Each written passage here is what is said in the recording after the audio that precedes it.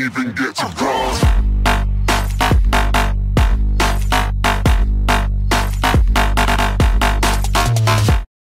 Witajcie!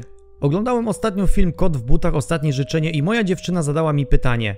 Kim jest ta dziewczynka w blond włosach i jej trzy niedźwiedzie? Nie każdy zna wszystkie bajki i baśnie, więc na szybko wam przypomnę. Wśród takich klasyków jak Kot w butach, Czerwony kapturek, Roszpunka i inne, jest bajka o nazwie Złotowłosa i trzy niedźwiedzie. Dziewczynka o blond włosach jak złoto znalazła w lesie domek, a w nim różne rzeczy, które były zawsze po trzy. Trzy łóżka, jedno za twarde, drugie za miękkie, a trzecie idealne trzy owsianki, jedna za zimna, druga za gorąca, a trzecia idealna. Były to rzeczy i dom trzech niedźwiedzi, mamy, taty i synka. Niedźwiedzie wypędziły dziewczynkę z domu, a morał tej bajki jest taki, żeby nie używać cudzych rzeczy. W filmie o kocie w butach motyw łóżek i owsianki powraca w jednej ze scen. Ale czy wiecie, że rodzina niedźwiedzi została już pokazana w innej części? A konkretnie w pierwszej części Shreka? Jest to dokładnie ta scena, gdzie mama i tata niedźwiedzie siedzą w klatce, a ich syn w klatce obok i płacze, bo klatka jest za ciasna. Co dziwniejsze, wśród bajek i baśni nie ma nigdzie indziej bajki o innych trzech niedźwiedziach, które są rodziną. Więc misie, które widzimy w klatkach i w filmie Kot w butach,